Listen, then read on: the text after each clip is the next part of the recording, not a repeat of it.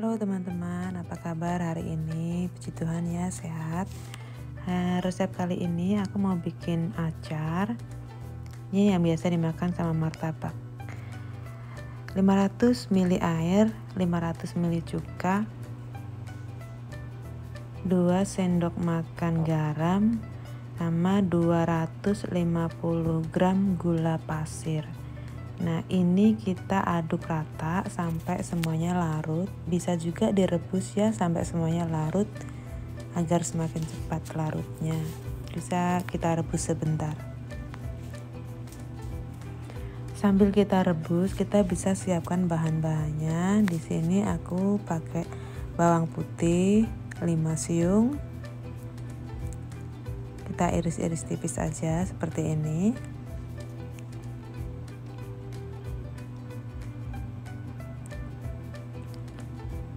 Ada wortel aku potong besar seperti ini aja.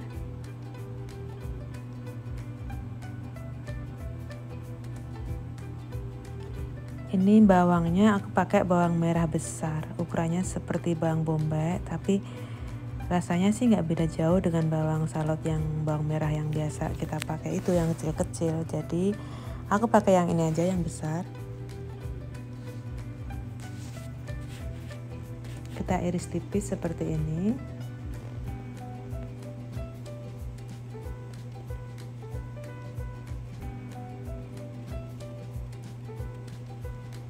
Kita siapkan juga cabai rawitnya. Untuk cabai rawit itu bisa kita sesuaikan dengan selera ya. Apakah kita mau pedas atau tidak pedas. Kalau mau pedas kita bisa tambahkan cabai rawitnya. Kalau yang nggak suka pedas kita bisa kurangin cabai rawitnya. Jadi untuk cabai rawit ini bisa disesuaikan dengan selera.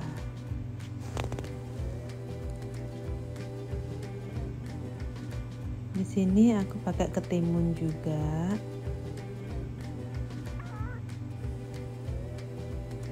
Aku pakai ketimun yang agak muda ya, eh, atau bisa pakai eh, ketimun Inggris juga. Jadi isinya itu kayak ketimun yang masih muda, kecil-kecil banget dan uh, dia itu lebih kriuk untuk ketimun ini.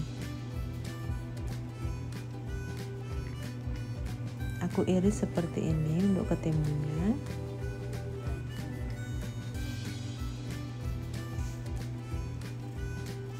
Oke, lalu kita bisa susun eh, bahan-bahan acar di dalam botol atau di dalam toples.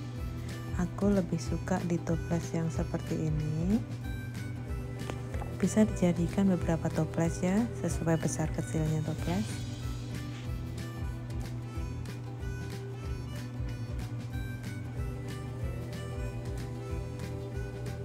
Masukkan semua bahan yang sudah kita potong-potong tadi untuk susunannya bisa sesuai selera.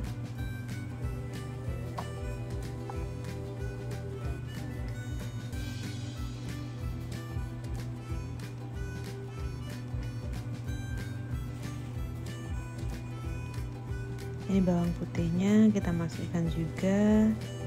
Terus habis itu kita masukkan cabai rawit. Nah setelah semuanya bahan uh, ter nah ini cabai rawitnya. Setelah semua bahan sudah masuk semua terakhir kita masukkan uh, larutan air dan gula.